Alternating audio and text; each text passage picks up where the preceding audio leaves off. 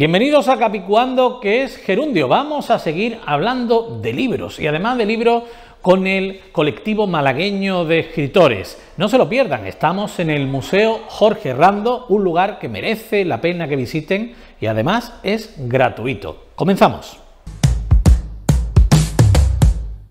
Hay veces que encontramos muchísimos atractivos eh, en los museos. Nos vamos a centrar en el de Jorge Rando, que es donde estamos precisamente, estamos en la biblioteca.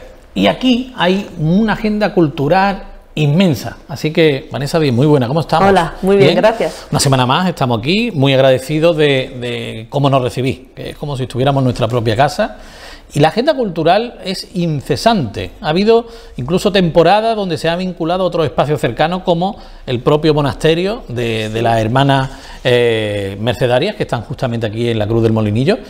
¿Y cómo lo hacéis? Porque tantas actividades tiene que ser difícil de coordinar. Trabajando mucho, ¿no? sí, es cierto, pero cuando abrimos el museo es verdad que nosotros somos el primer y único museo expresionista que hay en España, entonces el expresionismo fue todo un momento cultural que acogía todas las disciplinas artísticas. Por lo cual aquí en este museo no solo podía haber pintura y escultura, tenía que haber música, tenía que haber cine, tenía que haber literatura y por ello, bueno, uno de los, eh, digamos, el eslogan, aunque suene un poco de marketing, que nos define ser la sala de estar del arte y precisamente era porque teníamos que acoger todo, todos estos eventos culturales. Qué bien. ¿Qué destaca la agenda ahora, en estos meses de diciembre, enero, febrero, marzo? Pues eh, mantenemos siempre los ciclos que tenemos mensuales, que es verdad que, bueno, aparte de los que tenemos de manera coordinada, de manera mensual, luego tenemos muchísimos más. Para que os hagáis una idea, en apenas nueve años hemos tenido 860 eventos, o sea que el ritmo es muy acelerado.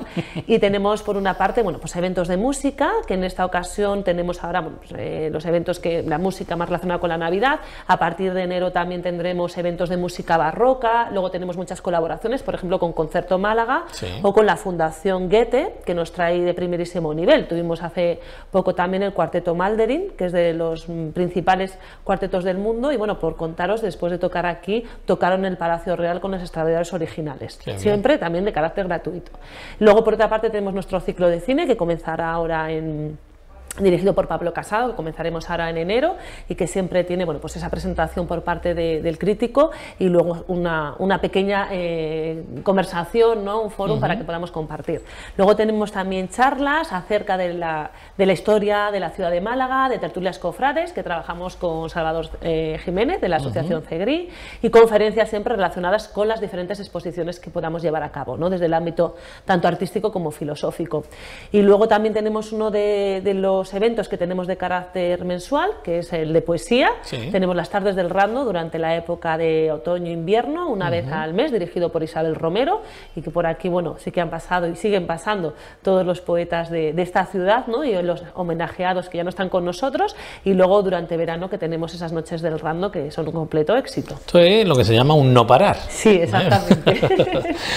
Si queremos acercarnos a toda esa agenda que tú nos acabas de comentar, ¿hay alguna página web, algún sitio? Sí, en la página web que tenemos, tenemos ahí toda la agenda, la pueden consultar, luego también a través de redes sociales y bueno, comentar también que siempre la entrada es, gratuita. Es gratuita. Y, vamos a recordar ya que estamos el horario, porque así viene bien. Sí, sí, sí. El horario siempre es de 10 a 2, de lunes a viernes y de 4 a 8 y los sábados por la mañana de 10 a 2. Fantástico. Bueno, pues nos quedamos con eso y nosotros vamos a empezar a hablar de libros. Perfecto. Gracias. Nada. Hay veces que viajar es una experiencia en sí misma. Vamos a hablar con una autora, con Raquel Escaño, que nos va a llevar a Estambul. Al menos si la portada nos dice eso, estamos seguros que en el interior también. ¿Es así o no, Raquel? Sí, vamos, vamos a viajar a Estambul. Bueno, Raquel, ¿qué es viajera o turista? Yo viajera, viajera mochilera. Ah, viajera, mochilera. Bueno, eso. Hay diferencia entre. Hay diferencia. ¿Cuál entre sería viajar y hacer turismo. La esencia para ti, ¿cuál sería del viaje a hacer turismo? ¿Cuál sería esa esencia?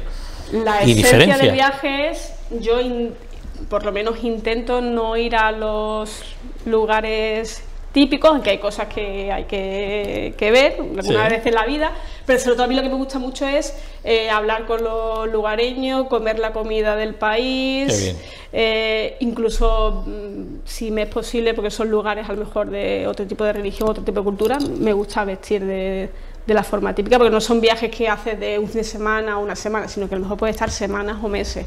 Entonces, imbuirte de la, de la cultura y de ¿Cuándo nace Ha pasado en Estambul? Pues Ha pasado en Estambul surgió justito antes de la, de la pandemia, en un viaje que realicé por, Oriente, a la vuelta de, la India, eh, hice una escala de una semana en, en, Estambul, que es un país que estaba pendiente. Siempre me ha gustado Estambul, siempre he soñado con esa ciudad, pero nunca había estado, y ese fue el momento. Y eh, tras la vuelta de ese, de ese largo viaje, pues fue llegar a casa y inmediatamente después al día siguiente de, de llegar Inmediatamente. ni lavadora ni nada. Nada de nada de nada. Eso que espere o que. No, no, que esperen, que esperen, sí. Qué bien. Ahí, eh, en ese momento, mm, ¿cuánta parte de la novela escribe en esos dos días? No, la novela. O sea, mm, la novela es muy fuerte. Eh, porque yo empecé a escribirla en 2017 y se ha publicado este año. O sea, es una novela que tardé, yo no me dedico profesionalmente a, la escritura, con lo cual es, es, una novela que vas escribiendo robándole tiempo a... Vale, vale, vale. A mi casa no se ve la tele, no tenemos internet, eh, entonces robándole pequeños pellizquitos al tiempo, entonces se fraguó en... ha tardado, ha tardado en salir. ¿Y eres de profesión periodista también? Yo he estudiado periodismo no me dedico al periodismo porque las circunstancias de la vida, pero sí, ¿Hay, ¿Hay, parte de esa esencia tuya periodística ahí en el libro? Eh, tanto de las buenas lenguas que hablan bien de mí eh, me comentan que, claro, o sea, no, no, es una, o sea, es una novela de ficción, no es una novela ni de viajes, aunque bueno, tiene parte de viaje. Em, se puede lo mejor saber que, se periodista por el tipo de lenguaje. O sea, es un libro que está muy bien escrito, no lo digo yo. Ágil, directo. Mm, mm, ágil y directo, no, porque es un tipo, no, es un tipo de novela que a lo mejor no todo el mundo le puede gustar. Es una novela muy descriptiva, que da muchísimos detalles. O sea, tú te metes dentro, porque, ah, eh, como he dicho, vamos a, ir de viaje a Estambul.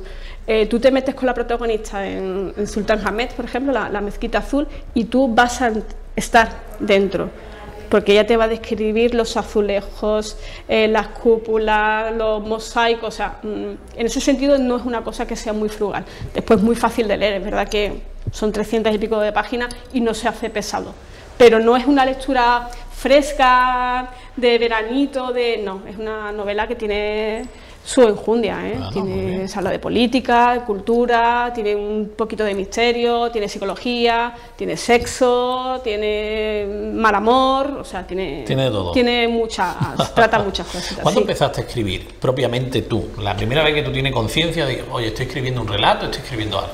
Pues de adolescente. En el instituto siempre las épocas estas oscuras de que nadie me entiende, que el mundo está en contra mía y tal. Entonces empiezas a escribir esos poemas mm, que no son poesías, pero tal, donde hablas de lo cruel que es la humanidad y, y, todo.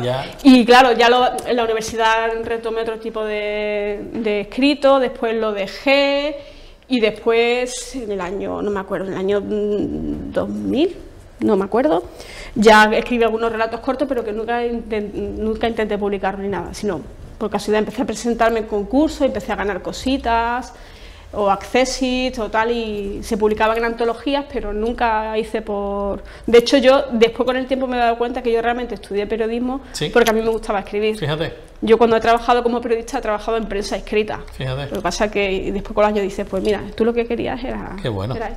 Oye, en Estambul, si quiere alguien viajar a Estambul, ¿le recomienda que lea el libro antes? ¿Por qué?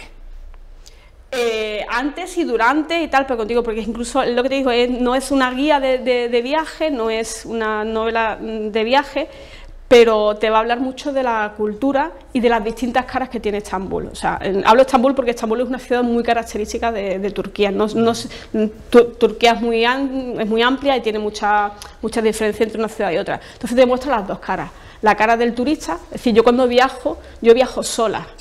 Y es un país que es medio Europa, medio Asia, medio tal. Entonces yo viajo a un, país eh, de religión musulmana y a mí me muestran una cara como turista. Pero después está la cara oculta de la situación de la mujer, de los derechos humanos, se habla de Erdogan, eh, se habla, como he dicho, el protagonista de la novela, eh, que es de origen kurdo, pues se habla del conflicto kurdo, del conflicto armenio, mm, de, o sea, tiene, tiene enjundia. Para escribir sobre un viaje, ¿dónde, ¿dónde te posicionas? Creo que incluso en la primera página del libro te llevas ahí a esa inspiración. ¿Dónde te posicionas? En esta novela en, particular, yo siempre he sido eh, una persona que me he considerado muy romántica en el sentido más amplio de la, de la palabra, es decir, en esos grandes románticos del siglo XIX inspirados en, en, el clasicismo. Entonces, aunque es una novela muy actual, porque es una novela escrita por una mujer en el siglo XXI, que habla de una mujer y de relaciones abiertas y de, y de libertad, pero está inspirado por ese pequeño romanticismo que a principios del siglo XIX, del siglo XX, llevaron a grandes poetas y a grandes escritores que viajaban a esos países exóticos, efectivamente, los viajeros románticos, y que eran viajes iniciáticos. Es decir, la protagonista eh, es una novela actual y una mujer actual, pero se deja llevar por ese romanticismo que es falso realmente, porque es más nuestra percepción de esos países exóticos y tal, de lo que realmente es. Después, mm, con todos los viajes que he hecho yo a lo largo de la... Bueno, tampoco es que sea yo una tal, pero, bueno, algo, algo, algo, he hecho, algo, algo, me he movido. Entonces te das cuenta que realmente todas las personas en todas las culturas, en todos los estratos, en todas las castas, incluso si viaja a la India, todos tenemos las mismas ambiciones, todos deseamos lo mismo y nada es tan exótico, estamos más conectados y más globalizados, por desgracia, de lo que, de lo que se piensa. Y para terminar, ¿Cuándo llega la siguiente obra publicada? Pues ya. Ya. Ya, ya, es que de hecho está en imprenta. Qué bien. O sea que esperamos que para el mes próximo esté ya. ¿Y a dónde nos lleva? Eh, lo llevo, es una editorial madrileña, hemos dado el salto, esta es una editorial sevillana, eh, indie, y eh, la siguiente novela es, me lo ha publicado una editorial que se llama Bojodón, y, como te digo, es que está, no tiene absolutamente nada que ver, es una, es una novela cortita, son 110 páginas lo que ha salido y no tiene absolutamente nada que ver, es, una, preciosidad. Lo que han comentado, lo que muchas veces comentamos, que la última novela es la que te más cariño le tiene, claro, es que esta novela tiene ya 5 años, o sea, que haya salido ahora mm, pero ya en mi vida está un poco apartado de, y, y muchos se estarán preguntando ahora, oye, cambios de editoriales, ¿por qué un autor o una autora cambia de editorial?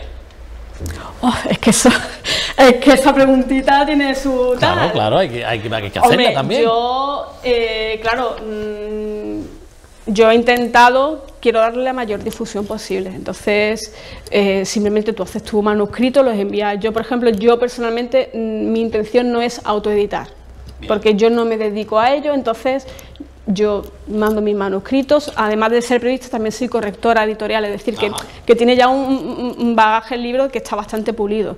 Como digo, mando los manuscritos a distintas editoriales, escucho ofertas y la que mejor me, me cuadra y tal, pues allí es con, con quién firmo. Entonces, como digo, he querido dar el salto a, la capital del reino. Muy bien, pues quédense con eso porque muchas veces, ¿y con quién puedo publicar? ¿Quién me puede publicar? Bueno, pues ahí se lo está comentando perfectamente Raquel, que hay una forma también que es la de esperar también esas ofertas que llegan y que evidentemente hay que escuchar las condiciones.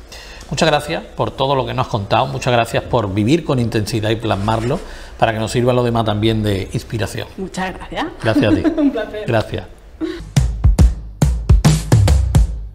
Vamos a hablar ahora de relato y novela. Isabel Vergara está con nosotros y nos trae tres, así que vamos a tener como siempre que aprovechar el tiempo y mucho. Isabel, muy buena, ¿cómo estás? Buena, muy bien, sí. Oye, ¿por qué empezaste un día a escribir? ¿Eso cómo fue esa experiencia en ti? Pues realmente no fue un día me levanté y me puse a escribir, ¿no? Yo desde siempre había querido ser escritora, desde pequeña. Pero claro, va pasando los años y no, no lo hace. Luego tampoco estudié, me puse a trabajar muy joven. Entonces luego me casé, tuve los niños, pero la idea de escribir seguía rondando mi cabeza. Y cuando ya los niños fueron más grandecitos y yo en aquel momento no trabajaba y estaba un poco más relajada, pues me puse a ello.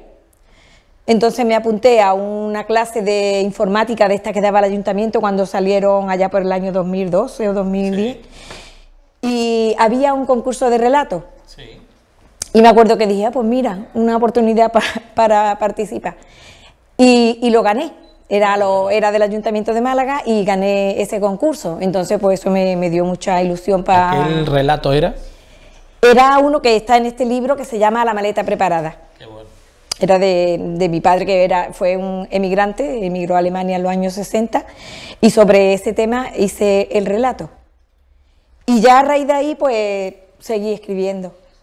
Yo ya estaba también más me saqué la ESO de adulto, estudié un poco, me preparé y, y me metí en ese mundo. O sea que valiente como nadie. Mm, Yo para mí era cumplir un sueño. Ahora sí me doy cuenta de que fue, mm, no sé, una... como cambiar mi vida, ¿no? Es decir, no, no me conformo con ser ama de casa, madre, mujer, no sé qué, sino que voy a cumplir mi sueño. Y, y me metí ahí. Y ahí sí. llegó una vida por ti.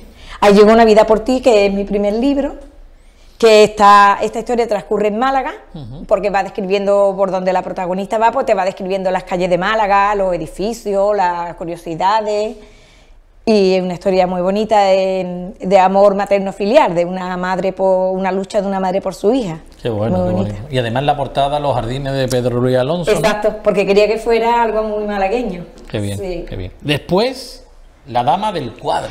Después yo veía rondando por mi calle un hombre mm, un poco raro, digamos un vagabundo, pero que iba vestido así como un poco estrambótico y no sé, de esto que lo ves todos los días, pero un día pensé, este hombre me está inspirando algo, me está diciendo algo. Y de ahí salió ese, ese libro, mm, no sé si conoces la historia de Anita Delgado, Sí, la maravilla del- la que era de Málaga. Entonces, Cuéntasela a todos los que nos ven. pues es una malagueña que se casó con un marajá de la India y se fue a, a vivir a la India y allí pues claro, le suceden muchas cosas. Pero mi, mi historia no va en ella, sino eh, supuestamente, eso ya me lo he inventado yo, ella se lleva dos chicas malagueñas para que la asistan y la acompañen y tal, y una de ellas pues se le desborda y es la que, es la que ocurre la historia del libro. Entonces la historia realmente va de la chica que acompañaba a, a Anita. Y entonces este hombre que te digo, el vagabundo este, pues hay una sobrina nieta de Anita que lo, lo conoce y le descubre que lleva un medallón con una foto de, de su tía abuela, porque ya no sabía nada de que la tía abuela había ido con Anita ni nada de esa historia. Entonces empezó a tirar del hilo a ver por qué este hombre llevaba una foto de su familiar y empieza a descubrir toda esa historia. Que, que nos vamos a descubrir aquí. No, ¿eh? Va hay que leerlo. Hay que leerlo, hay que leerlo. Y el tercer libro, que es Siéntate y lee. El tercero es, pues a lo largo de todo ese tiempo que seguí escribiendo, a partir del 2012 o así, pues iba haciendo también relatos, cosas que me venía a la cabeza, que no era para novelas, sino relatitos. Y entonces mm, me di cuenta que mucha gente, pues a lo mejor un libro entero le cansa o no le gusta y lo tiene ya que arrumbar. Entonces yo pensé, pues un libro de relatos, si no te gusta un relato, te puede gustar otro. Claro. Y le puedes sacar al libro más provecho. Así es que me decidí por, por hacer este libro de relatos. Y ahí fue donde incluiste ese premio que ganaste. Sí, ahí lo incluí porque es un relato muy bonito y era un- una buena forma de darle ahí, de tenerlo para, para recuerdo. Y estamos preparando más obras. Sí, tengo otra de una escritora malagueña que es súper famosa a lo largo de muchos años eh, a nivel nacional y entonces se queda sin ideas. Vuelve a Málaga, va al Jardín Botánico de la Concesión y ahí se inspira. Entonces empieza a escribir ahí otra historia que, bueno, que luego ya se va complicando las cosas y, y por ahí voy. Qué bueno, oye. Oye, ¿y cómo lo vive la familia? Tú que, que en, en ese proceso siempre has tenido a la familia muy presente. Sí, pero la familia está muy contenta, sobre todo mis sobrinos y, mi- y mis primos y todo. eh, están muy contentos porque no se esperaba que una de la familia, una persona de la familia fuera escritora, como me dicen ellos. Qué bueno. Lo viven Sí. con intensidad y sobre todo con alegría. Sí, a todo lo que hago, a todo ello acude, ellos me compran los libros, y, sí, todo. Anima, por favor, a personas que han pasado por tu misma situación porque eres un ejemplo de aquello que se tiene como sueño y al final llega, por constancia, claro. Sí, sí, yo sí animo porque mientras que tú estás viva y tú tienes ilusiones, tú tienes que luchar por, por sacarlo adelante. Y más cuando es algo que, que- que te, que te da vida, te da vida. Entonces hay que luchar siempre por tus sueños y por tu perseguir tus metas, siempre. bueno. Muchas gracias por haber estado con nosotros y que lleguen muchos hijos literarios más. Eso espero. Gracias. Vamos a seguir profundizando. eh, La diversidad literaria es tan amplia como la imaginación, ¿verdad? Y hablar también de literatura erótica eh, con un autor joven es importante. Vamos a, a tratarlo eh, como merece. Piel. Manu Flores, muy buena, ¿cómo estamos? Muy buena, muy bien. Oye, tu primera obra, con muchísima aceptación, va a tener incluso una gira a nivel nacional. Cuéntanos un poquito todo esto. Lo primero, lo primero, ¿cómo surge Piel? ¿Por qué te decides a publicar? Porque es tu primera obra. Sí. Pues Piel surge desde hace muchos años tiene la historia, una historia en mi cabeza, eh, lógicamente de ficción, con una parte autobiográfica. Y pues surge por un viaje a Kenia en junio de, este año, del 2022, eh, en el cual pues me encuentro a mí mismo, ¿no? Eso que se dice del romanticismo de he ido a encontrarme a mí mismo, bueno pues eh, gané un concurso literario en mi empresa a nivel, a nivel empleado y el premio fue un, viaje a Kenia.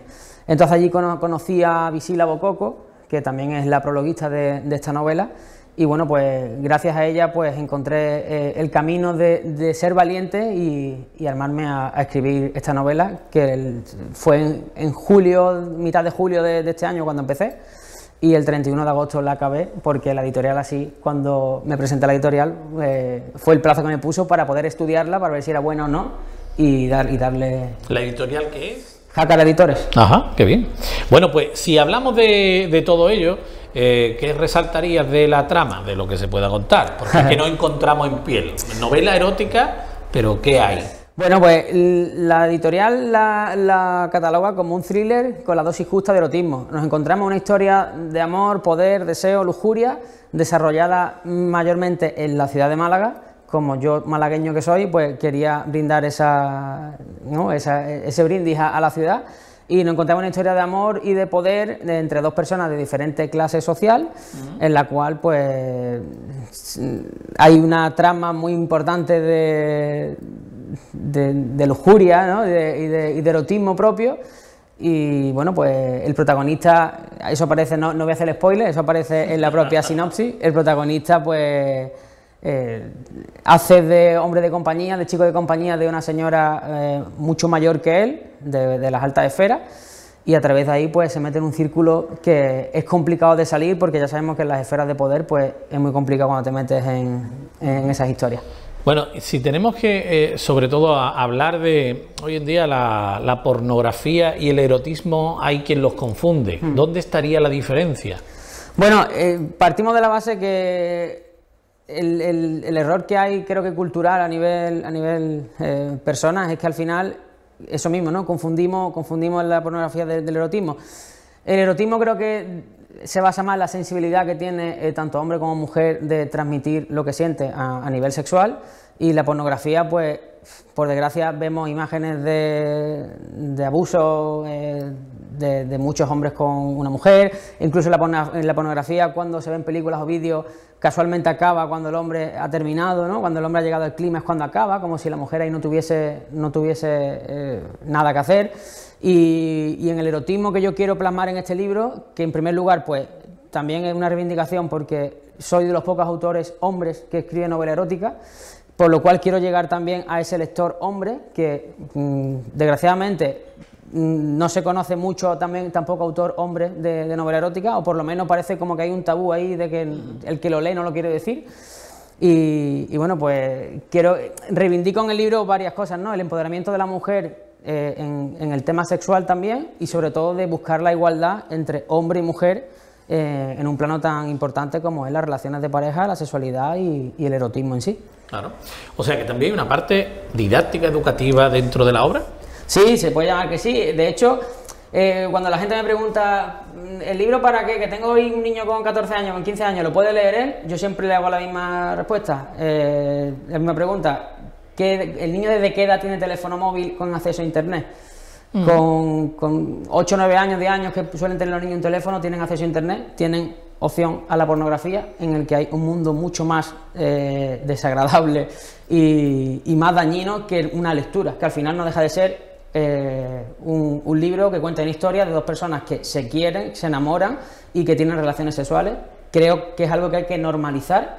No le vamos a dar el libro a un niño de, de 8 años, pero creo que en la educación sexual que debe haber desde los colegios, desde los institutos, creo que es importante que se empiece a educar, valga la redundancia, en este tema porque después encontramos situaciones como las que por desgracia se ven en el telediario cada fin de semana de, de abuso y de historia porque creo que hay mucha falta de información y este libro, no sé si puede ayudar a eso o no, pero sí normaliza y le da sentido común a lo que es las relaciones de pareja y de, las personas.